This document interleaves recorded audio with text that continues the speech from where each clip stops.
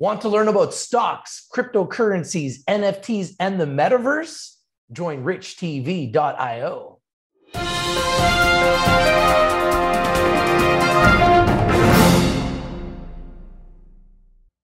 Hi, how are you doing today? I'm your host, Rich, here on behalf of Rich TV Live with our very special guest, the CEO of HPQ Silicon Inc., Bernard Tourillon. How you doing, Bernard? Very well, very well. Very good to have you on the show today. Very excited to have you back. We've been talking for quite some time, and I know that you're very, very excited. You guys are no longer a mining company, and you guys are now a tech company. So, can you talk a little bit about the big news and how you guys have now become a tech company? Well, it's we are actually developing new technologies to make the materials that are needed for, for tomorrow's economy, uh, the green the green revolution, all, the, all those processes ongoing. At the beginning, we were tied to the resource required to do it, and then we realized that the, there's no real big value in the, the quartz deposit in, in those areas, and we we developed the technologies. But as a resource listed company, we were under so many constraints we're trying to develop the technologies that we ended up being in a position where our growth path okay that we have set out for ourselves were being sort of like slowed down blocked by our listing requirement so we went through the process which is uh which is a long painful process in a certain ways it's like doing a prospectus like just just redoing a filing all right we went through that process and last thursday uh, like Wednesday, we were still a resource company, and Thursday morning we were a technology company. And not not even that, we went from a tier two, which is the lower tier with regard to financial, uh, the lowest minimum one, to a tier one, which means it's, it's the highest one, which means we have demonstrated higher, you know, financial capacity, capacity to move forward uh, in our plan. And that for us is a big thing for two things. When you go through that process of changing from one to the other, um, you sort of have you present a Polaroid to the exchange, okay? And that Polaroid, I know show, I'm showing my age saying Polaroid, but still Polaroid to uh, to the exchange, and you have to stay as that same Polaroid until the moment of the exchange, uh, until the until the bulletin is issued. Now I have more freedom to go talk about, move what we're doing, getting people to getting people to understand the value in which is an HPQ. Um, you know, it's it's it, it it is fascinating what HPQ has. We have we are in the perfect macro the macroeconomic environment in which HPQ operates is completely in our favor, in the sense that there's now a new trend, which is uh, which is called uh, onshoring or basically deglobalization.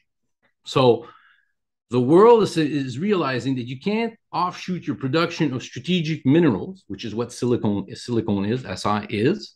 Okay. You can't offshoot that to who could potentially become your enemy. So you need to bring it back. But then there's a counter argument to this is that the reason why it was offshore is because people didn't want the dirty smelters next door to them. So, in a certain way, to ex- execute on that, you need a new technology, a new process, a new way of doing it. And that's exactly what HPQ is doing with its PureVap QRR. It's a completely new process to make silicon. What we've demonstrated during all our research is that our unique capacity to eliminate impurities at the same time as we make this, we convert the quartz into silicon, allows us to take much higher impurity in our feedstock to produce a higher purity material while producing less uh, uh, nasty chemicals. We don't need nasty chemicals as compared to, to our competitors. The other incredible factor we discovered, because our system can go, and I know it sounds very technical, all the way to four impurities in one step, is that the battery space, okay, is looking for that. And that I've been saying for a long time. So if we speak, I've been saying this. Well, lo and behold, about three weeks ago, the one of the biggest player in the industry basically announced they can make 4N silicone material for batteries. They're making Now, some people think, oh my God, it's a competitor. It's not a competitor. I know how they make it. They take their material, they, they acid leach it, get it pure, and then grind it. It's it's there's nothing different, but it validates a lot of the arguments that HPQ has been making has been validated. Now we've been actually talking since you guys were at four cents and HPQ's been one of our, the best success stories. We saw the stock really run well over a dollar. Uh, huge partnership with Py- Pyrogenesis, where they're they're a large shareholder and they've they've made investments at much higher prices than where you trade today. Can you talk a little bit about your functionality? Uh, yeah, well, the the functionality is well. There's different ter- terms we use functional. Like in, in, in a previous press release, I said our QRR, okay, is functional. Okay. Well, what does that mean in a technical sense? Our functionality is the system. The QRR is a multi-million dollar state-of-the-art new process. Now, the system that Pyrogenesis built, okay, and we're now going through the testing phase for it, is a unique, one-of-a-kind system. It's like there's no second. So it's you don't turn it, it's not like you're getting a car out of the garage and you put in the key and you start it and you go. Okay. Like, okay, maybe if it's a specialized car, you're going to say, you know, you, you got to be careful for the first thousand kilometers. We're not talking about the same thing. We're talking about the first prototype of a first new system, okay, that is based on all the research we've done before, but it is still a prototype. Okay. Second point that people have to understand is the function, the difference between functional and operational is not unique to HPQ. If HPQ would have bought a standard traditional smelter process, okay, from a big supplier, okay, we would have had a period between of about a year even with standard process where you go from functional to operational. That's normal in the in, in the language the language that we use. Okay.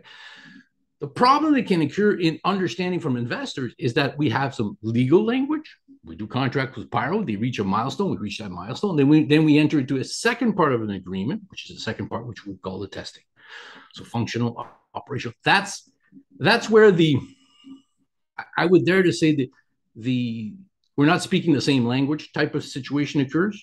But at the end, okay, within the 12 month period, when we make the silicon of the purity we said we're going to do, who's going to care about those delays? So, my focus as a CEO is just to make sure that we get to that point, which is what we're doing. Um, the other point that people have to understand is the making silicone is an extremely high temperature process. Okay? At the core of the reactor, I believe the temperature is going to be around 2000 degrees centigrade. At the exterior core is going to be 200 degrees centigrade. Okay. So that's why everything has to be automated. Every control valve, every mechanism has to be completely automated. Because if there's an issue and it doesn't work, you can't send an employees to fix it. Okay, you got to stop the and, and and that that you don't want. Once you start a smelter, you don't want to stop it. You want to you want everything has to be controlled. All the process to be done. So if the engineers want more time to be extra cautious at, at you know verifying that everything works, I really have no issue. You know, I'm not going to be like the CEO of Boeing that put so many pressure on the uh, on the 737 Max. At the end, all the issues happen this there, is a time where a CEO can come in and says we got to push forward, and there's a time when the CEO has to lay back and listen to the information given to him and move forward. What I know is within we're within the guideline of, of what we said we would do. The contract it is okay. So we knew it was a 12 month period. We knew within that period there'll be a few months that would be assigned to doing this, and then there'll be a few months where we're going to do testing, produce material, and then at the end we'll be operating the system 24 seven just to get all the final numbers so we can start building up scalable and basically demonstrate the value of it. That's for the QRR part of the business. That is normal. It's going through process. Um, so I'm really excited where we are. It, it's sort of like it's it's sort of insane, okay? Because we've been talking about this. We were talking at four cents, okay? Yeah. I was sort of saying I was presenting the business plan of what we were going to do, okay? Um, and there was still a lot of milestone to reach together. So here we are now. We've reached all the milestone. Okay. The plant is about to start producing. Okay. And it's so for me, a CEO, where we are operationally, and which is what I'm, you know, what my, my main focus is, I couldn't be happier. And what we've been able to build in parallel to this, okay, we're not just a, we just don't have one story. We have the QRR, Okay? We have the battery materials that's coming into it where you need nanosilicon. Making nanosilicon is another thing that's not that easy. to do. Um, but we're advancing that project and we're developing the fume silica. So often HPQ, we talk about what we're doing is we're going to be, we're generating value. Well, once a QRR becomes technology valuable, okay, the there's probably going to be big players, either end users or competitors. They're going to look at the technologies and says, "Oh, this is something very, very interesting," and they've already done all the hard research. They got the patented technologies. Maybe it's something that we want to look at. And how do you value that? Well, in the industry, yeah, go ahead. Yeah, it actually leads to my next question. So you mentioned the plant.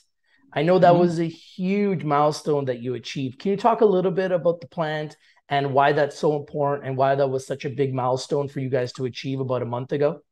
Um, yeah, it was. Yeah, it's well, it was a it, it was a contractual milestone that we reached. So basically, for for and for pyrogenesis was also a big one because you know they have uh, they work under the concept of revenue recognition. Okay, so we reached that milestone. All that part of the contract is done, and um, let me be honest, I went there a few times. It is a showcase piece of equipment. Okay, when we're going to be having it producing material and we're going to bring people, they're going to be they're going to be amazed how the technology behind it, the state of the art process, and the manufacturing of silicone that's never like it's never been done. Um, so it is it, for us it's a massive step and just right next to that system we're going to be we're, we're looking we're building the other one for the fume silica to it so you know within within a 12 to 18 months period we're going to have two showcase pilot plant wow. demonstrating green technologies moving forward now the second project is financed in part by the governments the first one was financed in part by the investissement quebec which is now our second largest shareholder after pyrogenesis um, so we have an institutional following we have Quebec-based institutional following, and it's it's it's also going to change us. That's another reason why it became a technology company. Uh, during the the last run up, and, and, and, as people watch what we're doing, there was a lot of people that wanted to to invest in HPQ. But these are type of people that want to invest into companies that where you can issue a prospectus financing. Well, how do you issue a prospectus financing for a mining company when you're a tech company? You can't. That's right. So we're executing our business plan. We're moving forward on our business plan. And you know, if there's one thing that history demonstrated about HPQ, okay, is that we always deliver, never on time. That's just a sad reality of because it's very difficult for us to have timing. And what's the most exciting part for me is because I see the the Gantt chart, I see the timeline everywhere. I know we're getting you know closer and closer to doing it. So the timing for us of finally becoming a mining company, a technology company from a mining company, couldn't be better. Um, Because I also had planned uh, for a long time when I wanted to increase the uh, HPQ's technical capacity, and that's something I'm working on, uh, hoping to be able to to talk about it relatively soon. But what I'm looking to do is to create a core of silicone expert and hydrogen expert, like all those type of process working with us so that I can let Pyro focus on what their strength is, which is developing those systems. Okay. And HPQ and its new uh, colleagues focus on developing value added application for the materials we'll be producing. So that's going to increase value to the entire company. So that's in the pipeline, but I couldn't talk about this, do anything about this until last Thursday. So due to the fact that you're doing this change from going from a mining company to a tech company, and because mm-hmm. of that, you had to be quiet. So you're not being quiet because there wasn't business being done. There's a lot of business being done, but you're mm. being quiet because you had to due to the change in business, correct? Correct. And also, let's address that concept because we're a tech company, okay, our main asset is no longer properties, it is patents. Understood. So when you do R&D and you do development and you end up finding, oh my God, we didn't expect this to happen when we're using the system. And this is a great opportunity. Okay. Well, if you're a mining company, it means you, you know, we found gold in the property, you'll be screaming it everywhere else. If you're an R&D company, zip, shut up, don't talk about it until the patent's written. So that's the patent. That's the difference between a technology and a mining company. We're much more focused on developing technologies, which brings about developing patents, which means developing process know-how that's confidential to us. So our communication flow, our communication way is going to be changing. It was very difficult when we were both of them um, uh, to do it. I don't think I don't think I explained it to you, but when we were technology, when we were a mining company, we had to sign um, covenant with the TSX Venture, all right, which basically, and I, not sure if I said this or not. Uh, I, we had to sign covenant, which basically said we cannot sell any material, okay, that is does not come any silicone that does not come produced from our own properties. Well, since we hadn't bothered to develop companies because we thought it was a waste of money, that was sort of as we got the plant almost ready to be, to be operational, um, it was sort of becoming a big issue. So now, one of the things that investors are always looking at is the company's financials, the company's mm-hmm. stability mm-hmm. moving forward. Can you talk about your financials right now and where they stand so investors can get an update and get a better feel for how the company looks at like um, as far as the balance sheet? Balance sheet is is, is very strong. Uh, Good. For us to go from a tier two to a tier one, we had to demonstrate that we had the financial strength to, to last until December 2023. All right. Um, so our financial, like it's cash equivalent to somewhere around $11 million. We don't burn a lot. We don't spend a lot. Um, you know, actually, one of the criticism there is, is there's not too many employees, but if you at the ratio what we do per employees, it's been pretty darn good. I will. I am now looking and increasing that because it's it's the right time. Uh, you know, we're, we're going to be more present. We, are going to talk more. We got to we got to rethink the, our entire communication strategy. So our website is still under HPQ Silicon Resources. It's been redesigned. As you can see from behind me, we got a new logo. We just finished a new deck, um, which look, which I think it looks very, very good. Um, I'm getting ready now to go out and, and, talk about this because you know before I didn't want to get caught in a position where I said something where I couldn't because of what I said to the exchange, but now, now, now that's done. So it's it's for new investors that are discovering HPQ, and there's a lot of them. Okay, we're not we're not world famous yet. You know, we were a mining company, so it blocked a lot of people from looking at what we were doing. Now we're going to be able more to market ourselves as a green ESG uh, solution providers uh, and those type of things. And, and like in the, in the pipeline, it's going to be moving forward. So uh, because we have a lot of ideas that we're working on in, in the pre-patent phase that we're waiting to finalize and, and get that moving. So so here at Rich TV Live, our community loves technology. I love technology. I'm heavily invested in technology, startups, uh, majors. Technology is pretty much a big part of what I do and what I believe in because technology is making the world go round. And we're moving at a very fast pace with technology, mm. faster than ever before. Now, in saying that, for investors, what can investors have to look forward to in the next couple quarters? Are there any uh, milestones or timelines they should be looking forward to um, that they can really kind of look at and put on their calendar um, or just kind of look at as maybe a timeline where they maybe want to position themselves for something big coming in the next you know three to six months?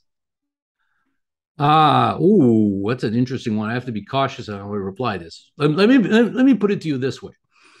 Um i'm out here with you sort of my first outing as a, as a technology company.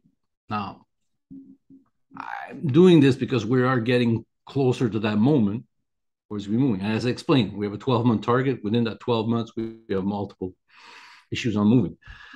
Um, I can't, and for the life of me, I've been wrong in my timing before, but we are so close. That's, I think that's probably for me as a CEO, the most mind numbing position to be to know how close you are and if you look at HPQ market like everybody else, it, it looks as we're as far away. In a weird way, okay, we're much better positioned as a company now than we were when we were 165, 167, because that was there was a massive wave that came in. Okay. Now we're definitely on the on the other side of the wake. Now it's everything more negative, and you know, as they say, people are naked going to show. We're not naked. You know, we're fully dressed. We have a plant. We have a real system, real technology. Well, I mean, you mentioned it. You you said that you're in the process of hiring people. Yeah. The biggest companies in the world are laying off ten percent of their workforce. Yeah, but that's because they over see. That's right. I didn't. So over, you guys are. I didn't overbuild. Scaling up while yeah. some of the biggest companies in the world are scaling down, which means you mm-hmm. guys are moving in the right direction.